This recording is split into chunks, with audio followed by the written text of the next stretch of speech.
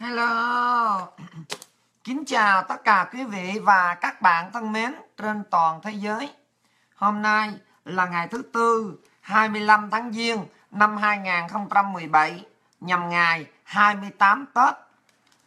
À, Bài hát trước khi vào chương trình khai dân trí số 37 Lisa xin mời tất cả quý vị và các bạn hãy đón xem và nghe bài hát Ngày quật khởi.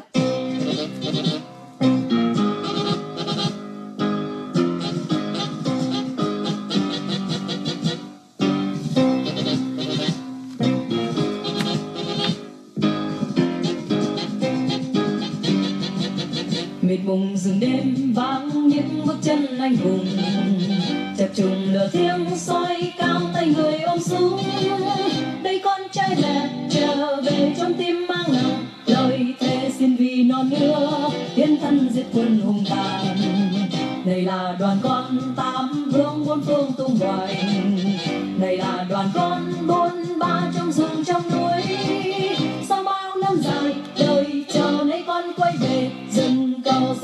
hòa bắc nam ra vàng tự do. Đoàn con giết quân vô thần, nhường cờ tiếng xin tế vang lên. Bao nhiêu trang anh hùng tuấn kiệt bao quân binh uất vang thần xin về vui cùng nước non thanh bình, này là tù giam trốn xác những trang anh hùng. Này là xiềng bông chôn chân bao người yêu nước.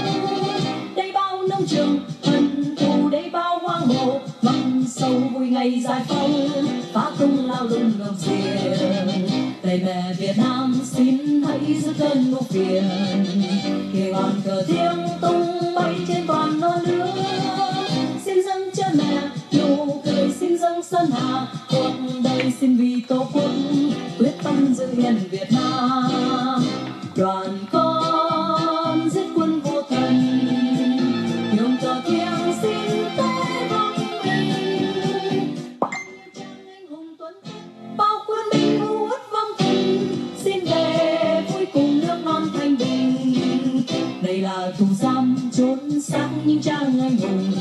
Tuấn Lê Chào Phong Điệp Lan.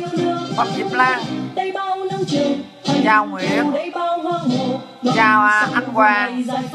Chào Kim Ngọc. không lao lung gồng xiềng lời mẹ Việt Nam xin hãy giữ cơn lũ phiền kìa ngọn cờ thiêng tung bay trên toàn non nước Chào Quyền Nguyễn. mẹ nụ cười xin vì tổ quốc quyết tâm giữ yên Việt Nam. Chào Nguyễn Kim Xuyến. Rồi. Chúng ta bắt đầu vào chương trình. Câu hỏi đầu tiên.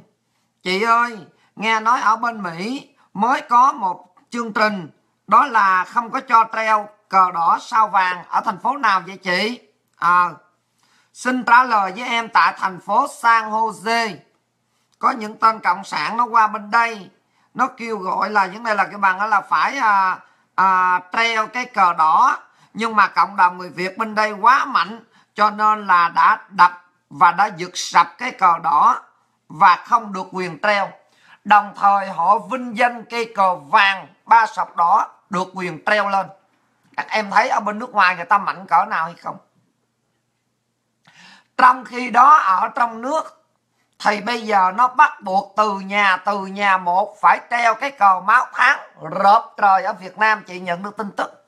Có những người không thèm treo, thì nó bắt buộc phải treo. Thậm chí nó vô tới vùng sâu, vùng xa người ta không thèm treo. Thì nó leo lên trên cây cột nhà hoặc nó lên trên nhà nó phát cờ để mà nó treo cho người ta luôn được tụi bay treo đi. Tụi bay treo, nhưng mà lòng của người dân người ta không có muốn treo. Tụi bay ép buộc, tụi bay treo, nhưng mà người ta không treo. Bởi vì cờ đó là cờ máu tháng cái đó đâu có đúng đâu. Cái đó là tụi bay ép buộc. Tụi bay bắt buộc. Còn người ta treo là người ta, vấn đề là tự do. Người ta, vấn đề là kêu bằng là muốn thích, người ta thích, người ta treo. Giống như bên hải ngoại này nè. Người ta thích là người ta treo còn trong nước Việt Nam cái đám đĩ cái đám chó tụi bay là bắt buộc phải treo nha để cho các bạn thấy được sống trong một cái đất nước mà không có tự do dân chủ sống trong một cái đất nước mà độc tài khốn nạn nó như thế đó đó Ngày hôm nay các bạn, những người em tuổi trẻ đã đi lên trên đây cập nhật được và nghe chương trình của chị Lisa. Các em đã từ từ mở mang ra về chính trị rồi. Chứ ngày xưa hả, cỡ tuổi các em, đảng đỉ nó không có cho biết cái gì về chính trị đâu. Kể cả những người mà chúng ta là dân bình thường, nó cũng không bao giờ cho biết cái mẹ gì chính trị hết trơn. Chỉ giống như là con bò, con trâu, chỉ biết đi làm, rồi đi về nhà, yêu bác, yêu đảng. Nó muốn nói cái gì là nó nói. Cho nên bây giờ nó thấy rằng tuổi trẻ các em quá khôn ngoan, vào mạng để mà tìm hiểu được chính trị. Nó mới đưa những cái con giáo thầy giáo, cô giáo, đảng viên giáo bộ vô bắt đầu là nói các em á, là bây giờ còn nhỏ thì đương nhiên rằng các em vấn đề là cập nhật chính trị cũng có cái tốt. Nhưng mà trong cái tốt đó đó là phải chính là các em phải đi đúng đường. Đúng đường tức là phải theo đảng đỉ phải đưa thằng chó đẻ hồ chí minh lên. Mặc dù dân tộc việt nam nghèo đói kệ mẹ nó đó cái giọng điệu của mấy cái con đỉ mà vấn đề là cái bạn là thầy cô giáo như vậy nó mất dạy như vậy đó. Đó chứ đâu bao giờ đồng ý cho các em đi cập nhật chính trị, nhưng mà đừng có vào những cái trang phản động. Đừng có nghe những này là con Lisa Phạm nói. Bởi vì nó nói đúng quá mà, cho nên những này là đừng có nghe. Chị nhận được cái mà người ta kể cho chị hôm qua. Trời ơi, là trời, gia đình của em á hả, là cái bằng đó là chồng của em á là vấn đề là đại tá. Nằm ở bên vấn đề là cái bằng là cảnh sát hình sự. Em cũng là đảng viên kỳ cũ rồi, ở trên chi đoàn bộ được kia. Tưởng sao? Nó gửi đi lên trên cái trường gọi là trường bồi dưỡng chính trị cao cấp của đảng. Đưa mấy bà nội, mấy ông nội vô trong trọng tưởng vô trọng học chính trị cao cấp là gì? Nó đưa một thằng giáo sư nói láo đi vô trong trọng bắt đầu là nó ngồi nó bắt đầu cầm cuốn sổ, nó ghi, nó kêu tên từ tên từ tên một cái đầu nó ngồi, bắt đầu là xong suối trời nó vô nó học chính trị. Chị ơi, học chính trị nó toàn là nó kể không à? Nó ngồi nó kể chuyện thời xa xưa, mà trong khi cái thằng giáo sư nó vô nó mới có 45 tuổi thôi chị à mà bây giờ đất nước Việt Nam á những này là cái bằng là nó vô nó cướp miền Nam đó. Là đã gần những này là cái bằng là 42 năm rồi. Thì cái ngày mà 75 đó là nó là 42 năm. Mà nó năm nay nó mới 45 tuổi. Tức là nó sanh mới có những này là trước năm 75 nó mới sanh năm 72 73 thôi. Nó biết cái đéo gì đâu ai cho nó đi vô rừng. Vậy mà nó giáp đi lên trên trên trên, trên đây. Mà nó ngồi mà nó dài dài đó chị. Nó lên nó ngồi nó dại đó chị. Chị biết không? Cả kháng thường người ta đang ngồi như vậy đó. Cái bắt đầu nó nói các đồng chí có biết không? Bây giờ đó là nước nhà thống nhất rồi. Bắc Nam sum họp rồi. Chúng ta bây giờ là sung sướng rồi. Cho nên là chúng ta là những này là phải kiên định với đường lối chính sách của đảng và nhà nước. Chứ vào cái thời kỳ mà những này là kêu bằng là khổ cực đấy. Là tất cả những người chiến sĩ chúng ta phải ở trong rừng các đồng chí à. Trời ơi có những cô giao liên mà đi đó Đi trong rừng mà những con rắn Úi giời ơi con nào con nãy á mặt mà, mà nó kinh lắm kìa cơ. Con rắn mà nó cắn rồi mà không dám la Bởi vì sợ máy bay Mỹ với vậy Việt Nam Cộng Hòa biết được. Bởi vậy mà cho nên vấn đề là kêu bằng là Con rắn nó cắn rồi Là phải vấn đề là ngậm miệng lại không dám la các đồng chí. Mà ở trong rừng đấy Khi mà thấy máy bay Mỹ mà nó bay rồi Đó là các anh em phải là cắm lá ở trên đầu về nè Rồi ôm lại làm giả là một cái tàn cây các đồng chí có biết không? Cái nó nói xong cái nó nhìn xuống nó coi coi coi có người nào mà nghe nó nói mà cảm động rơi nước mắt không nha để nó ghi vô, họ nó ghi vô để nó coi cái đầu bò không?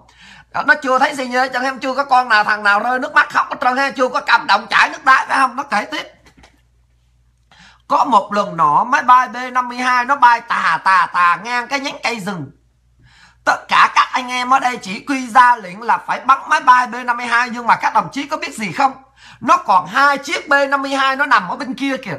Cho nên nếu chúng ta bắn chiếc B52 này mà rơi xuống rồi đấy, thì còn hai chiếc B52 kia nó sẽ tới để mà nó tiêu diệt hết cả sư đoàn của chúng ta ở đây bởi vậy mà cho nên ở trong đó ai người ta cũng giận căm gan cả. Người ta hỏi cho chứ bây giờ sẽ làm sao để mà chống B52 thì có một đồng chí là tiểu đoàn trưởng, bắt đầu là nói tôi xung phong. Thì đồng chí ấy cầm một cái cây tàm vong, leo lên trên đỏ cây ở trên đó. Rồi các đồng chí biết gì không? Bắt đầu ngồi đó. Khi B52 chuẩn bị bay ngang qua thì thoát một cái lên. Thì B52 chảo đảo hết trơn và đã cháy bỏ cho nên tàm vong mà chỉ chọt lên cái cây thôi. Trên chiếc máy bay B52 thôi thì máy bay rớt xuống.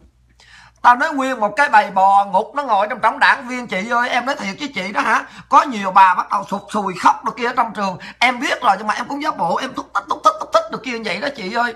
Cái bắt đầu ở trên đây có bắt đầu cái thằng giáo sư nó 45 tuổi nó nói đó, nó như vậy đó các đồng chí. Chưa đâu các đồng chí à sau khi mà à, ông à, tiểu đoàn trưởng này mà dùng tàm vong mà vạt nhọn đấy mà thọt lên mà rơi B52 rồi đấy thì khi mà những này là anh đi vào thì bắt đầu là tất cả đều họp lại. Và những này là kêu bằng là khen thưởng và hỏi anh vậy chứ à, tại sao mà anh lại táo bạo khi mà anh suy nghĩ ra để mà cầm cây tàm vong mà leo lên trên cây rừng để mà chọt lên những này là chiếc B52 như vậy? Thì các đồng chí biết là anh ta trả lời như thế nào không? Ấy các đồng chí biết không? Anh ta nói anh ta không có sáng kiến gì cả. Tất cả là điều do bác hồ chỉ cho đấy. Bắt đầu cả hội trường tôi nói khóc xuống mất. Trời ơi, bác ơi, là bác. Trời ơi, là trời. Trời ơi chị ơi, em cũng giả bộ em khóc theo đó chị à em nói thật với chị là đi vào trong cái trường mà gọi là vấn đề là kêu bằng là bồi dưỡng trị lý luận mà cấp cao của đảng là chỉ có vô trọng kể láo kể sượng vậy thôi chứ chả có cái đéo gì mà chạy cả. Rồi chỉ biết sao không? Rồi bắt đầu là coi thằng nào con nào mà khóc mà thật là nhiều đó. Thì bắt đầu là nó ghi tên cho thằng này vô. Đó, chẳng hạn thằng này thằng gì? Bắt đầu là nó nâng lên nó cho thằng này làm chủ tịch rồi bắt đầu ví dụ nó lỡ nó đưa thằng này chủ tịch mà vô đảng viên là phải kê khai lý lịch là gia đình có công, là bị chết kia bắt đầu nó nhồi sọ thằng này vô là ờ phải căm thù. Đó tức là những này là ngày xưa đó là nhân dân đó. Nó cũng vấn đề là đi theo, nhất là nhân dân ở miền nam, việt nam á, nó đi theo bọn vấn đề là kêu bằng là đế quốc. Cho nên nó giết cha anh, nó giết mẹ anh. Cho nên bây giờ anh lên làm chủ tịch là không có thương cái đám dân này đó cho nên cứ việc thẳng tay đi mà trừng trị. Rồi cái thằng chủ tịch đó, nó mới sai những cái thằng đệ tử mà ăn cất gà đó đi xuống dưới cướp đất cướp làng quách mẹ nó người dân đi. À, sao vậy?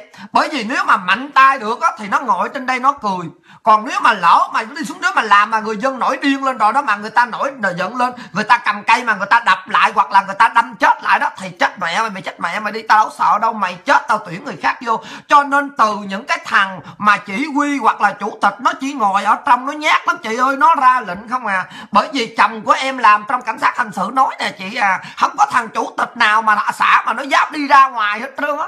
Toàn là nó giao cho mấy thằng xã, mấy thằng cu hồn vấn đây là kêu bằng là hai đi ra để mà vấn đây là có gì người dân mà nổi điên lên đó, mà người dân đâm chết thì chết đi, cái đó nó tuyển người khác vô. Chứ những thằng ở bên trong nó không dám làm gì trơn á chị.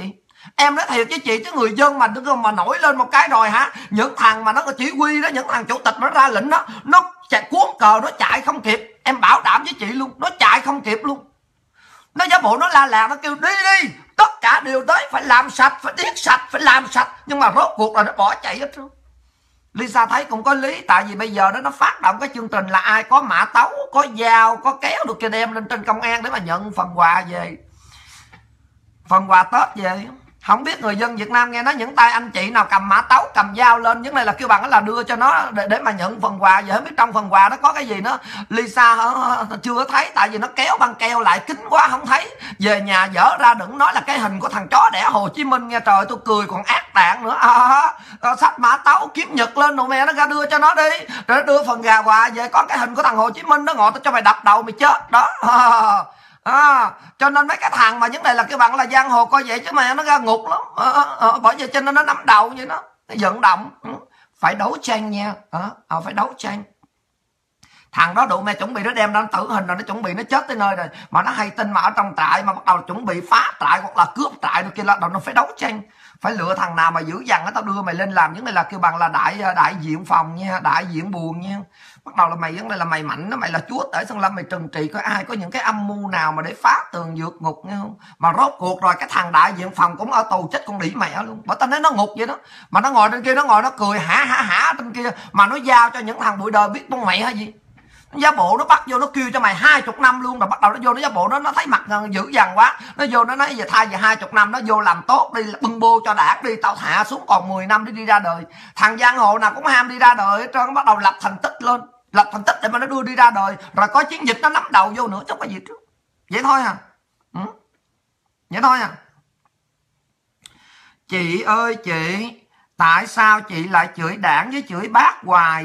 Bây giờ chị chửi đảng cũng ok đi nhưng mà chị đừng có chửi bác. Tại sao chị chửi bác hoài vậy? Bác có làm gì sai đâu. À, trả lời cho em trả lời cho bạn trả lời cho mày luôn. Bác của mày làm gì không sai? Cái tội của thằng súc vật Hồ Chí Minh là nó đóng giả làm thằng Nguyễn Ái Quốc. Cái tội của thằng xúc vật chó đẻ Hồ Chí Minh là nó mang cái lá cờ máu tháng của tỉnh Phúc Kiến đem về Việt Nam bắt toàn dân phải treo cờ máu bởi cho nên 28 Tết mà tao nói, trời, mưa ầm ả ở Việt Nam hết trơn, qua mai, qua gọi gì đâu, mẹ rụng tờ lê tờ le học mấy hết tao bỏ thật. Tao giá cho mùng một Tết nước nó linh láng luôn nữa, để cho vấn đề là kêu bằng là xách xe đi ra ngoài đường là lội luôn, tao cho nó vui nữa, cái ở đó. Biết chưa?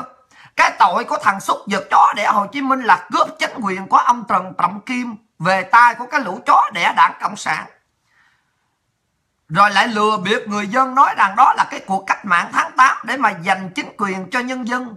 Biết không? Cái tội của thằng Hồ Chí Minh là mời Pháp quay lại Việt Nam để mà âm mưu giết những cái người nhà đấu tranh ở Việt Nam. Trời ơi, nói tới tội là thằng chó đẻ Hồ Chí Minh nó tới một ngàn kể không có hết đâu. Cái tội của thằng Hồ Chí Minh là làm tình báo cho Pháp đã đưa cụ Phan Bội Châu đi vào tù cái tội của thằng chó đẻ Hồ Chí Minh là nó giết hơn 250 ngàn người dân quan trong cuộc cải cách ruộng đất ở Hà Nội từ năm 1953 cho đến năm 1956 đó, mày vô đi. Mày, vấn đề là kêu bạn là tôi đưa những cái file đó, những cái lũ cuồng hồ cuồng đảng vô dịch tài liệu ra mà đọc đi. Coi coi đúng không? Coi coi vấn đề là Lisa hài tội nó ra đúng không? Đó đi vô trong tổng coi đi. Đó đảng nó che hết trơn rồi nó chặn bức tường lửa hết trơn rồi. Tụi bay là dư luận viên tụi bay là những người cuồng hồ cuồng đảng con ông cháu cha đó. Thì có thể vấn đề là kêu bằng là nhận được những cái mã số để mà vượt uh, firewall đi ra bên hải ngoại này vô google gõ lên tội ác hồ chí minh đi. Đó, đó, đó. lisa kể sơ sơ thôi tại vì kể nhiều dài lắm.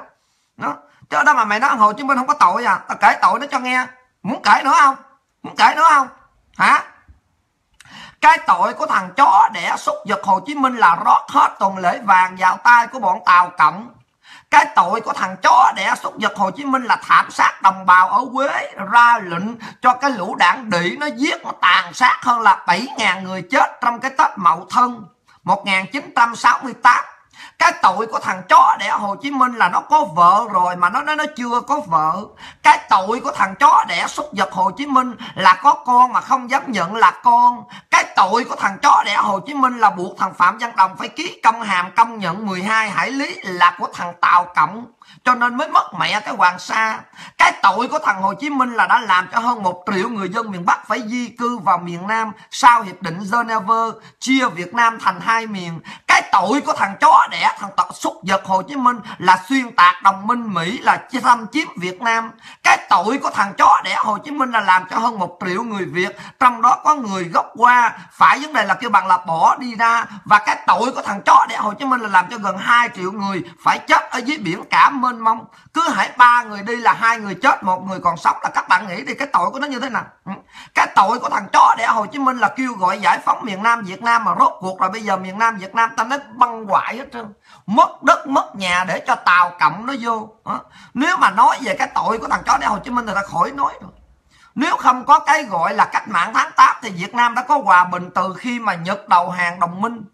Chính thằng chó đẻ Hồ Chí Minh đã cướp chính quyền trong tay để mà giao cho cộng sản, chính thằng hồ chó đẻ này nó đã mời pháp quay lại việt nam. Chính thằng hồ chí minh này nó đã tàn sát đồng bào việt nam. Chính là thằng hồ chí minh và đảng cộng sản đã lừa gạt đồng bào của mình.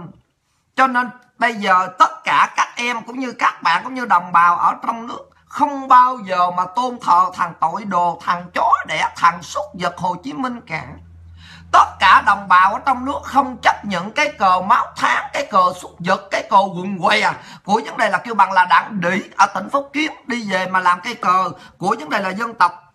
Vấn đề là kêu bằng là còn lừa đảo nó còn cho đó là cờ. Của vấn đề là kêu bằng là quốc gia nước quốc con gái mẹ tôi mày chủ quốc. Nha. Ừ. các bạn thấy nó ngang ngược không? Mùa xuân là tết, là của ông bà, là của người việt nam có từ thời của vua. Của vấn đề là kêu bằng là vua đầu tiên của Việt Nam. Sự tích bánh trưng bánh dày, tượng trưng cho trời và đất. Hai ai đến ngày dỗ tết người ta cũng ăn mừng cả. Nhưng mà bây giờ sau khi nó chiếm được rồi bắt nó ngang ngược, các bạn thấy ra ngoài đường không? Thay vì người ta mừng xuân thắng, mừng xuân những này là vui cung chúc tân xuân, nó thọt mẹ nó lên, những này là mừng đảng trước, rồi xuân là ở ngoài sau. Bởi vì chỉ có đảng mới có mùa xuân thôi. Đảng đã cho ta một mùa xuân đầy ước vọng. Đó, các bạn thấy nó ngang ngược không? Hả? Đó, mà trong khi đảng cho đẻ của nó là thành lập năm 1930 cao trào cách mạng là nó còn, lúc đó nó còn sơ khai, nó còn lấy là những này là kêu bằng là việt minh tao còn lấy là việt minh nữa chứ tao có dám lấy cái mặt của cái mặt của nó là cộng sản đâu. Thấy không? Ừ. Vậy mà bây giờ vậy mà bây giờ nó vẫn ngang ngược nó để những cái bạn ở việt nam là mừng đảng vào xuân uh, mừng xuân thắng lợi được kia. Vậy mà người dân việt nam im ru. Vậy mà người dân việt nam không biết được cái ngang ngược của nó cái mất dạy của nó là nó như vậy. Cái mất dạy của vấn đề là cái bạn là thằng ờ, thằng đảng là nó như vậy đó. Nha ừ. biết không? Đó các bạn suy nghĩ đi. Lisa ơi Lisa mày có học không? Mà mày chửi bác những lời lẽ như vậy. Ờ, tao không có học. Học mới lớp 3 cô giáo tao ăn đồ độc của thằng Tàu bị ung thư lờ chết rồi. Cho nên tao mất dạy với cái đáp dư luận viên tụi bay như vậy đó. Sao? Có gì thắc mắc nữa không? Đó, tụi bay vô chữ đi. Cô giáo tao chết rồi. Chết từ năm tao học lớp 3 Tao chịu học lớp 3 để cho đảng đỉ tụi bay học lớp 4 đi. Bởi vì bốn lù đó tụi bay đọc ngược lại đi. Đảng tụi bay học cao quá à. Cho nên tao tao nhận tao học lớp 3 cô giáo tao chết rồi tao không có học. Tao dành cho đảng đỉ tụi bay học lớp lớp 4 đi biết không? Đó. À, bà đặt vô đây hỏi mày mày vấn đề là không có học hả Lisa? Được kia trời ơi đó. đối với đảng của tụi mày mà có học hả? Hả? Hả? Nha. Ừ chị Lisa ơi chị có hay tin gì chưa? Bây giờ đổi lại là không có cho rung chuông vào dịp Tết mà phải kêu gọi toàn dân ra đường để mà nhìn coi vấn đề là bắn pháo hoa ở trên cái màn hình vấn đề là mỏng kìa chị ơi les à, 3D thì ta nói nó vui như ngày trải hội thì giống như đá banh thôi à, thì bây giờ tết thì các em cứ tụ tập ra đi nó để tivi ở ngoài đó. Ai chơi cắt cớ hay là lấy cái ná mà để một cái đùng mẹ nó nổ cái màn hình cái lên là Iran như là pháo bông vậy đó chị hiến kế cho. Giả bộ mà đứng xa xa tối hù đông người ra coi đi. Đâu có biết ai là ai đâu mẹ lét lét mẹ cầm cái ná gì mà dương ở dưới độ mẹ bóng một cái bụt hoặc là cầm cái cây nào. Giả bộ cái viết cái gì đó mẹ giật cái bắn vô màn hình một cái mẹ nó nổ một cái đùng tao nói nó vui. Cái đó là đọc bắn pháo bông luôn đó. Ờ, à, đó làm đi. Nó trời đất quỷ thần ơi là trời. Mà chắc là tao nói nó mở ở trên đài đó chắc là nó vô trong youtube đó youtube đó. Nó lấy mấy cái chương trình mà người ta quay pháo hoa nào mà nước nào đẹp nhất đó. Bắt đầu nó ra bộ nó chiếu lên cho toàn dân coi cái này nó làm cho ở trong vùng sâu vùng xa đó, người ta tưởng sao là pháo hoa của đảng đó. Tại vì đảng tốt lắm. Nó tính dụ người dân ở ngoài, nó tưởng người dân ở ngoài, thành phố hà nội đồ kia đó, chắc không có biết lên trên youtube. Cho nên nó mới đem màn hình ra, nó giả bộ, nó dụ để nó đốt pháo bông lên như vậy cho coi đó. Ơi mẹ nó ra mày lên trên cái iphone đi, cái đẳng đỉ tao bay mất dạy. Tao bay lên cái iphone tao bay download chương trình pháo hoa đi, nó nổ tao bay coi còn vui hơn nữa. Kêu đi ra ngoài ngoại làm gì? Ra đứng hửi khói hả? Các bạn cũng ồn ồn ra đi, ra để bạo động với mẹ cho nó, ra đi mà lợi dụng cái thời cơ đi. Nó kêu ra, cứ chạy ra coi đi. Ra mẹ nó đứng biểu tình lên luôn, la làng lên luôn. Chọi đá cho bể mẹ mấy cái tivi màn hình mỏng luôn cho lisa nha ờ ừ. trời đất quỷ thần mẹ ơi, chưa có cái nước nào mà những này là kêu bằng là tao nói khủng khiếp vậy trời ơi. Thì ở bên uh, hải ngoại bên đây nè ở nước mỹ đó khi mà những cái thành phố lớn như là New York đó người ta chiếu trực tiếp live đó người ta đưa lên màn hình cho mọi người ở những cái nơi mà xa không có ghé vô New York được. Nước Mỹ nó tới gần 300 triệu bây giờ nó 500 triệu dân rồi. Cho nên bắt đầu là không có nhìn coi được những thành phố lớn thì người ta quay trực tiếp cho coi đó. Thì bây giờ ở Việt Nam nó cũng bắt trước giống vậy đó mà đặt nó mở ra cho mọi người coi ở trên đài truyền hình đó mà bây giờ nó không có đài truyền hình bởi vì nó đâu có trực tiếp nó đốt đâu quay trên đài truyền hình. Cho nên nó lấy những cái cuộc mà bắn pháo hoa người ta ghi lại của vấn đề là New York rồi nó cắt đầu cắt đuôi nó pha vô của anh cái của úc cái của vấn đề là mọi nhà nước cái. Rồi bắt đầu là nó vô nó bấm nút lên nó thâu vô cái DVD rồi nó bấm nút lên nó cho mẹ nổ bung tùng lên. Trong trời ơi đảng đĩ nó hay ghê không? Nó tưởng ra chắc là các em chắc là con nít lên ba không biết về tinh học mẹ gì hết trơn để mà nó dễ dụ cho nhiều một chút nó dụ cho ăn cất gà vậy đó, đó. Ai ngột thì chạy ra ngoài đường đi đó, đứng giác mắt vô nhìn coi cái màn hình mỏng, màn hình là 3D để ta coi nó đốt pháo hoa đi. Ờ, trời ơi, tao thấy khủng hoảng thiệt á. Chị nhận cái tin đó mẹ, nó chị khủng hoảng thiệt. Nghe? Ừ. Ừ. Ừ. có chuyện gì là kể như xong hết, các em yên tâm đi. Nghe chưa? Ừ. rồi. Chị nhận được một cái tin ngày hôm nay. Nha tức là cộng sản á, nó giả bộ, nó tung một cái tin lên để nó thử dư luận coi như thế nào. Tức là nó giả bộ, nó nói rằng là nó sẽ phá đi cái nhà thờ đức bà. Nhưng mà sự thật là nó đang hợp kín với nhau để mà nó dẹp cái nhà thờ đức bà. Cho các em biết như vậy được nha bởi vì từ năm 2014 đến nay, những người mà vấn đề là kêu bằng ở trong nhà thờ Đức Bà, người ta yêu cầu vấn đề là kêu bằng là sửa chữa lại, nhưng mà nó không cho giấy phép. Mọi người người ta góp tiền, góp bạc để mà vấn đề là kêu bằng là tu sửa cái nhà thờ Đức Bà, mà đến bây giờ nó không cho phép sửa chữa nó giả bộ, nó nói đây là công trình của quốc gia, cho nên nó để cho chính phủ vấn đề là sửa chữa, hoặc là chính phủ có muốn phá thì cái đó là quyền của vấn đề là chính phủ. Giống như là cái thương xá thác vậy đó, cũng là tài sản của quốc gia, cho nên nó đập mẹ nó đi, nó dẹp cái thương xá thác cũng vậy thôi. Đó thấy chưa? Bây giờ chị nghe nói cái sở thú cũng là của những người tài sản của quốc gia cho nên phá mẹ nó ra bán cho thằng tàu để nó xây cao ốc lên chơi nha à. phá bỏ mẹ thảo cầm viên luôn khỏi có con gì hết trơn các em yên tâm đi. Người dân mà cứ cúi đầu hoài là tao nói số phận của nhà thờ đức bà giống y như là thương xá thách giống y như là thảo cầm viên bây giờ đây nè. Khỏi lo. Ừ, ừ. nha. Nó tuyên bố là nó xây cái tuyến đường cái tuyến tàu metro từ Sài Gòn đi Thủ Đức từ thành phố Hồ Chí Minh chứ đi Thủ Đức. À, mấy cái người mà vấn đề là kêu bằng là kiến trúc sư người ta vô người ta nói chuyện cho Lisa nghe người ta xì cho Lisa nghe cái bản tin động trời. Người ta nói chị có biết không tụi em là kiến trúc sư mà bây giờ nó kêu là phải làm cái đường hầm âm ở dưới lòng đất là ba chục mét. Nhưng mà cái bờ sông ở bên hầm thủ tiêm bên kia thì lại xây cao hơn mặt đất ba chục mét nữa cho nên những người kiến trúc sư người ta nói nếu mà tàu ngầm mà vừa chui xuống dưới đáy sông đó, mà đi thẳng ra đó thì nó tự động nó phải cao lên 60 mét như vậy. 30 mét để lên mặt đất và thêm 30 mét nữa để mà đi lên cái đường ray thì không thể nào đi lên trên không, thì không thể nào được. Như vậy thì đó là một việc mà vấn đề là gần như không thể làm. Các kiến trúc sư nói rõ ràng, ngay cả ở Mỹ hoặc là ở Tàu, những cái xe điện ngầm, metro cũng có thể vấn đề là kêu bằng đó là không thể nào mà leo lên mặt đất mà vấn đề là như vậy cả tụt lên, tụt xuống mà tới 60 mét, cái độ cao như vậy. Không bao giờ có. Nha.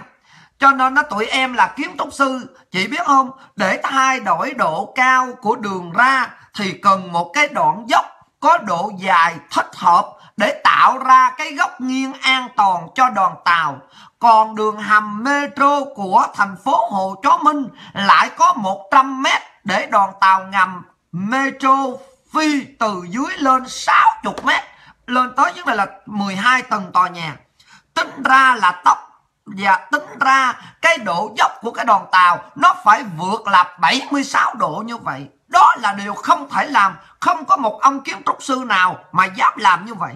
Và lại cái độ sâu của đường hầm thủ thiêm cũng không có độ sâu lớn đến như vậy ngay cả hệ thống metro ở tại Bangkok, Thái Lan, nó chỉ có 3 tầng, tức là nó chỉ cao có 5 mét thôi, chứ nó không bao giờ mà nó đào sâu tới 30 mét, như là vấn đề là đường hầm mà, vấn đề là xe tàu điện ngầm metro ở tại Việt Nam đâu chị ạ à. cho nên các kiến trúc sư nói rằng công trình này là công trình lớn nó có liên quan ghê gớm đến an ninh quân sự quốc gia chị à em cho chị biết như vậy nó sẽ không bao giờ an toàn cho người dân ở tại Sài Gòn, ở tại cư dân đâu. Bởi vì cái đường hầm metro này là một âm mưu chất trị đó chị ơi. Mà cái điều đáng nói là nhà thầu của thằng Tàu Cộng nó đứng ra nó làm. Ban đầu thì do vấn đề là nhà thầu của Nhật Bản nhưng mà không biết mua bác như thế nào đó mà vấn đề là lặng lẽ bàn giao cho Tàu Cộng. Chị hiểu thấy không? Em là người coi về dự án Metro em biết rằng là đảng đỉ nó chi ra gần hơn 3 tỷ rưỡi USD chỉ để xây dựng chưa đầy 20 km đó chị. Nhưng mà chị có biết không? Chị có xem, chị có thấy đường hầm Metro không? Nó có cái giá này không? Chỉ có 20 km thôi mà nó ngốn 3 tỷ đô la, 3 tỷ rưỡi đô la. chỉ có chỉ có thể tưởng tượng được hay không? Trời ơi cái đường hầm ở bên mỹ này nó chạy bạc ngàn vậy chưa tới 1 tỷ mà ở việt nam nó làm cái đường hầm như là phải ngốn 3 tỷ rưỡi thằng nào mà coi về cái vấn đề là kêu bằng đó là mẹ metro này, đó là nó xây nhà lực bạc này. chị nghe nói ở việt nam bây giờ nó ôm tiền từ từ, nó chạy đi quá trời đi. Xin cáo bệnh hồi hương. Riết rồi đảng đỉ, người ta nhìn thấy bằng mặt thật hết trơn. Chị nghe kể mắc cười lắm. Vô trong cổng biết rõ hết trơn, ngày nay ai cũng biết đảng đỉ hết trơn bởi vì chỉ có những thằng chó đẻ xúc vật thì nó giả bộ nó làm mạnh tay thôi. Còn những người ta biết hết trơn rồi thậm chí nghe người đó vô kể tội nghiệp lắm. Thấy người con gái chạy đi nó bắt phải được. Người này cũng giả bộ chạy được nhưng mà chạy gần tới là cái kêu chạy đi chạy đi. Giả bộ chạy đi không ai bắt đâu. Họ để cho người ta chạy đi. Đó. chỉ trừ những cái thằng nào mà chó đẻ mà nghe lời của mấy cái thằng chủ tịch mấy cái thằng vấn đề là cấp trên đó thì coi chừng dân tụi bay người nó đâm tụi bay chết mẹ tụi bay có ngày. Nha. Ừ, ừ. Ừ. ai mà nói đúng sự thật cái tụi bay cho khùng cho điên không à? Khùng điên mà tụi bay cứ lát cái mặt chó tụi bay vô đây tụi bay nghe không à? Khùng điên mà đảng đỉ tụi bay ngăn chặn kêu giáo viên rồi kia họp lại đừng cho học sinh nghe chương trình của Lisa Phạm. Đó à, đó khùng điên những này là cái bằng là làm điếm ai làm điếm? Cái đảng đỉ tụi bay đi làm điếm chứ ai làm điếm? Đó tụi bay đi qua tụi bay làm điếm cho thằng tàu cầm tụi bay bắt nước việt nam mày nhục nhã chưa? Nha. Ừ chị ơi, các bạn của em nói rằng tất cả công nhân Việt Nam nó trả lương rẻ mạt. Xi măng Việt Nam sản xuất được, thép Việt Nam cũng có nhà máy gan thép. Không chỉ việc là bọn đảng cộng sản, nó đã không cho khai công mà nó lấy tất cả dụng cụ từ bên tàu cộng. Thiết kế của tàu ngầm đã vượt quá giới hạn của một hầm ga điện ngầm thông thường rồi. Nếu đúng thiết kế thì hệ thống ngầm còn tránh được bom nữa chị à. Sức sức chứa của hầm không lớn lắm, nhưng nếu có chiến tranh thì chỉ cần ẩn nấp được vài ngàn người. Bạn em kể trong công trường, khu vực lỗ thiên là kỹ sư nhật và công nhân việt, nhưng dưới hầm là công nhân việt nam và kỹ sư không phải là người nhật mà là thằng tàu cộng cho chị biết những cái tin nó như vậy đó nhé chị. Ừ, cảm ơn em đã cho chị nghe những cái thông tin. Em khỏi cho chị nghe là chị cũng đã hình dung ra được rồi. Ngày hôm nay đất nước việt nam nó đã thuộc về như vậy rồi. Chị ơi chị dân mình lại ngu muội tiếp chị lisa ơi. Tụi chó công an nó muốn được ăn cướp dễ dàng. Nó chiêu dụ người dân nộp hết vũ khí rồi chị lisa ơi. À, thì đó ngu thì cứ nộp vũ khí đi rồi thằng tàu một đêm nó tràn lên là trong nhà khỏi có mẹ, cho nó có cây dao thái lan, chừng chừng hai ngón tay vậy cũng đem ra nộp mẹ nó đi. Cho nên khi mà nó tràn vô rồi không có một miếng nào. Chứ bây giờ nó động rồi. Nó thấy chương trình của chị ra, người nào người nấy vô coi, bây giờ bắt đầu là nó chịu hết nổi rồi. Nó vô nó chửi chị cũng không si nhê. Mà nó cấm thì nó không cấm được. Bây giờ nó dụ nhiều cái chiêu như vậy đó để mà lỡ thí vụ dân mà toàn dân đứng dậy rồi, vấn đề là kêu bằng á là mẹ có hung khí, nghe có hung khí. Cái thằng mà viết bài báo này cũng ăn ruột quần què à. tự nhiên người dân việt nam nghe lời đi giao nộp vũ khí. Mẹ nói chuyện khùng. Rồi tưởng vũ khí sao? Dao, gậy, cây đồ kia, mẹ nó ra đem ra, côn đồ kia đem ra. Dạ thưa mấy thằng đầu bò, ốc, chó, tao dạy cho nghe chưa? Cái đó không phải gọi là vũ khí, mà phải viết lên là người dân đem dao nộp hung khí. Hung khí là gồm có búa, gồm có dao, gồm có cây, gồm có gậy, gồm có đá. Cái đó gọi là hung khí. U ngờ ung hờ ung hung. Nghe chưa? Đầu bò còn vũ khí là những chất nổ, giống như là bom, mìn, lựu đạn, súng. Cái đó mới gọi là vũ khí, nha. Viết một cái bài báo lên là tao ngồi bên đây tao cười rồi, nhớ chưa? Viết cái tờ báo tao cười rồi. Đảng đỉ không cho người dân tàn trữ vũ khí thì lấy cái đéo gì mà vũ khí mà đi ra đem nợ giao nộp cho tụi bay? Viết cái tờ báo là thấy tụi bay ngục không? Hả? Bởi ta nói cái thiên đường mà xã hội chủ nghĩa nó ngục như vậy đó. Nó ăn ruột, vấn đề là kêu bằng là cùng rùa như vậy đó. Các bạn suy nghĩ đi nha ở bên đây đó, mà nếu các bạn cầm cây ra, các bạn quánh người ta đó, mà các bạn nói rằng anh đó cầm vũ khí quánh tôi đó là lạng quạng thằng luật sư nó thưa các bạn ở tù rụt xương đi. Anh chứng minh coi vũ khí là cái gì. Anh dám nói người ta cầm vũ khí để người ta quánh anh, phải không? Cái này không phải gọi là vũ khí những cây dao, những cây thuôn vuông, những cục đá, đây gọi là hung khí nếu anh dùng hung khí anh giết người thì tôi sẽ vấn đề là nêu đưa anh vào tội, dùng hung khí để giết người. Còn khi anh dùng tới mà súng chất nổ mới gọi là vũ khí. Anh cầm lựu đạn, anh trội vô trong đồn công an cho nó nổ banh tành chết mẹ mấy thằng chó đẻ đạn đi. Cái đó gọi là anh sử dụng vũ khí. Anh dùng súng để mà anh bắt chết mẹ những thằng cảnh sát giao thông chặn đường dịp Tết này, phạt mỗi người 200 ngàn 200 ngàn. Cái đó anh sử dụng vũ khí còn khi mà người dân bùng phát mà nổi dậy, mà cầm bơm xăng, mà cầm cây, mà cầm dao để mà chém, để mà phản kháng, cái đó gọi là hung khí. Mà ở cao quỹ tị nạn cũng như luật sư trên toàn thế giới, người ta không có gài tội các nước mà đứng lên mà bạo động, mà dùng hung khí cả. Bởi người ta nói hung khí là một vật thể, nó nhỏ, nó gọn và nó, tư bằng, nó thấp kém hơn là vũ khí phải nên nhớ kỹ như vậy. Ở đất nước Hoa Kỳ có tự do dân chủ cho nên anh được quyền mua vũ khí. Chỉ có đảng đỉ là nó tịch thu vũ khí nó không cho người dân dùng vũ khí. Cho nên người dân tự động mua cây kiếm hoặc là mua mã tấu hoặc là dùng những cái cây mà vấn đề là kêu bằng là đâm heo uh, dùng những cái cây sắt dùng những cái cây thuôn vuông dùng những cái cây côn. Cái đó không phải gọi là vũ khí mà cái đó gọi là hung khí. Cho nên đảng đỉ nó nói câu trước là nó chửi câu sau, mà nó nói câu sau là nó chửi cha lên câu trước. Bởi vậy cho nên những cái thành phần mà bắt đầu là cuồng hồ, cuồng đảng mà mất dạy mà vào cái diễn đàn của chị hôm qua, chị cóp mỏ con ngọc trinh gì đó, vô đây xả rác làm cho phân tâm mọi người. Bữa nay đó chị làm xong chương trình này đó, mà chị coi mà đứa nào mà lên trên đây mà bắt đầu là vô đây đó nói một hai câu chị còn nghe, mà ngồi xả rác để cho người ta nghe phân tâm đó là chị nhốt vô trong chuồng khỉ chị đưa vô thảo cầm viên của chị. Chị có lặt một cái thảo cầm viên ở trong trọng trong trọng toàn là nhốt động vật cao cấp không à. gồm có đảng đỉ là một, gồm có an ninh mạng là hai, và những cái thứ mà đầu bò ốc chó của tụi em là ba nha. Ừ. ráng đi. Bữa nay 28 Tết còn vô đây chửi sủa chị được.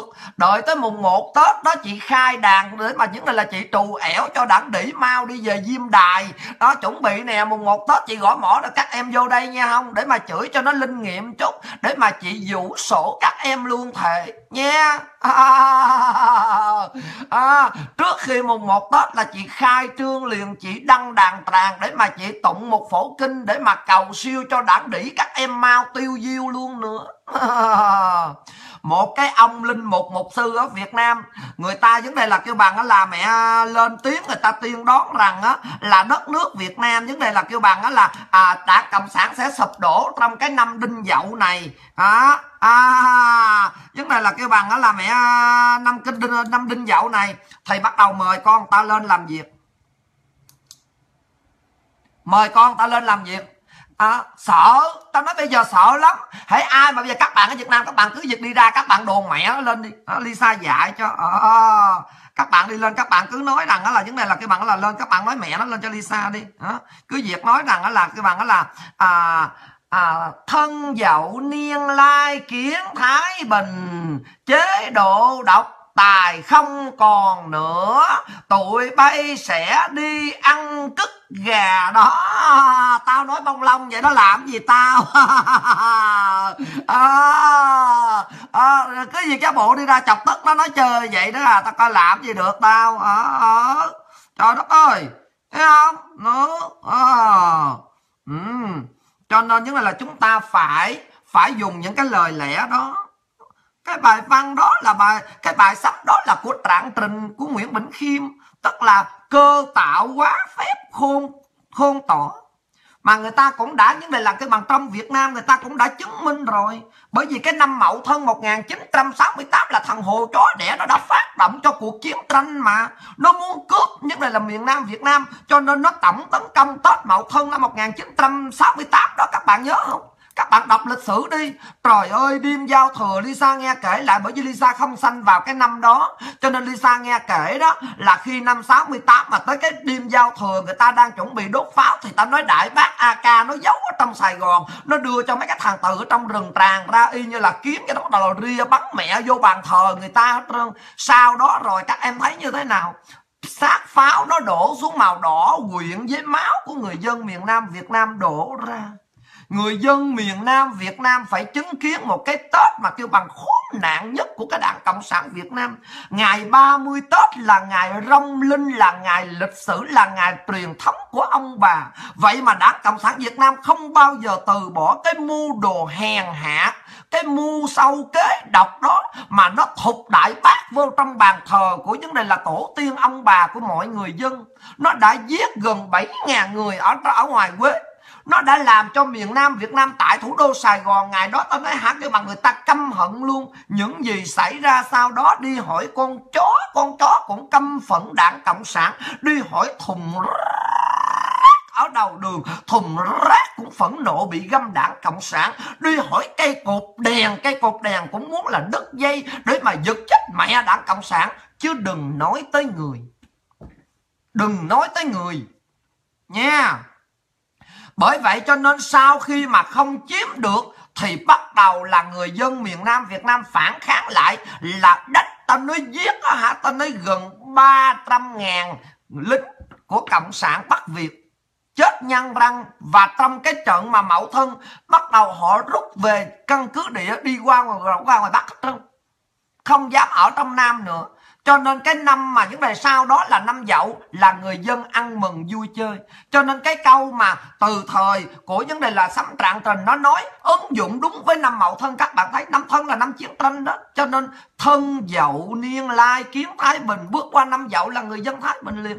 Bởi vì thằng Hồ Chí Minh nó đã âm mưu từ trước đó rồi. Nó âm mưu từ cái năm mà con dê với năm con ngựa rồi. Cho nên người ta mới nói rằng đó là vấn đề là kêu bằng là mã đề dương cước anh hùng tận, thân dậu niên lai kiến thái bình là như vậy đó âm mưu của nó là vào năm những này là cái bằng năm ngọ và năm mùi bởi vì tý sửu dần mẹo thần tỵ ngọ mùi thân dậu tức hợi cho nên nó đã chuẩn bị âm mưu vào cái năm con ngựa, tức là năm ngọ với năm mùi, để chuẩn bị nó tràn vô, nó lợi dụng, nó đánh vào cái năm đầu tới năm tới, năm mới cho nên nó pháo kích vào cái vấn đề là 30 Tết là còn nằm ở trong cái năm những này là kêu bằng là con dê đó. Để bước qua những này là năm, nhưng mà trong tích tắc vấn đề là 24 tiếng đồng hồ là lính Việt Nam Cộng Hòa đã diệt trừ nó được. Cho nên sau cái ngày mùng 3 mùng 4 Tết là người dân người ta ăn uống trở lại bình thường, người ta vui vẻ bình thường. Cho nên hai năm sau liên tiếp người dân Việt Nam người ta vui vẻ đàng hoàng. Cho nên thân dậu niên lai kiến Thái Bình là ở cái chỗ đó đó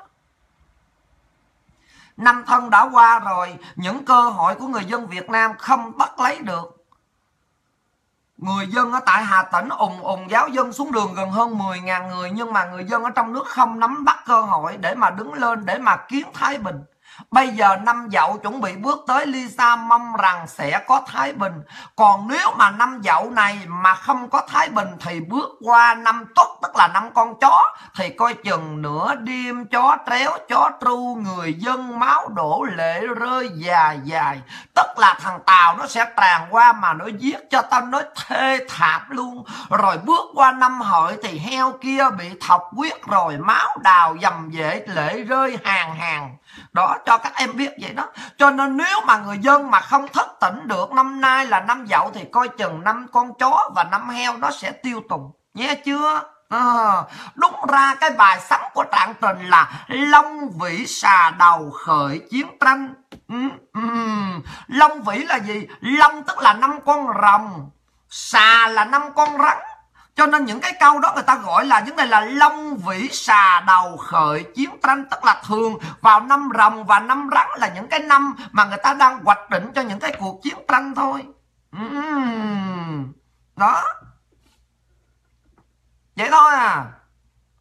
Bởi vậy mà cho nên bây giờ, nếu mà người dân Việt Nam mà không dám đứng lên, Người dân Việt Nam mà vẫn còn sợ sệt như vậy, Thì hãy coi chừng hùm gầm khắp nẻo gần xa. Mèo kêu rợn tiếng quỷ ma tơi bời. Cộng sản nó đi ngời ngời, Giết dân, cướp nhà, cướp đất, Kêu trời không tha. Chuẩn bị đi. Chuẩn bị đi, Nha. Nếu mà toàn dân Việt Nam Mà đứng dậy Mà để kiến Thái Bình rồi thì cuộc sống của người dân sẽ mãi mãi trường tồn thiên thu vạn đại. Đất nước Việt Nam sẽ có những bậc cao nhân hoặc là đất nước Việt Nam có những vấn đề là kêu bằng đó là uh, những bậc nhân tài để đi ra. Còn nếu mà ngày hôm nay mà vẫn còn ngu xuẩn dốt nát để mà đi vào đảng để mà học những cái trường như Lisa đã nói lý luận cao cấp con mẹ gì vô trong toàn là kể láo kể sượt không? Đưa một cái bà bảy lên bé bộ dụ bà chứ bộ ờ, coi bà nào mà được, chứ bộ cho tiền, bà thấy má lên trên đài truyền hình, má nói nha. Má nói cho nó vấn đề là cái bằng là hay chút nha, ông má. Ừ. má lên, má nói đi, má ơi ở bắt đầu ờ, mẹ. Bà mặc cái áo hả, tao nói lũng ba lỗ vậy nè. Nhà cửa trước, cửa sau trống phọc hết trơn à.